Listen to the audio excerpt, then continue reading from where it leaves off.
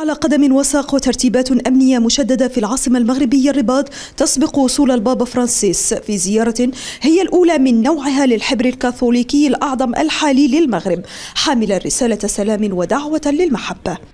على خطى سلف القديس يوحنا بولس الثاني ساجيء كحاج للسلام والإخوة في عالم ما أحوجه لهذه القيم. إننا كمسيحيين ومسلمين نؤمن بالله الخالق والرحيم الذي خلق البشر وجعلهم في العالم حتى يعيشوا كإخوة محترمين بعضهم البعض في التنوع. ويضم برنامج الزيارة لقاء البابا فرانسيس بالملك محمد السادس وزيارة معهد محمد السادس لتكوين الأئمة والمرشدين ولقاء بالمهاجرين المسيحيين وعدد من الكهنة والرهبان المقيمين بالمغرب على أن تختتم الزيارة بقداس إلهي يرأسه البابا.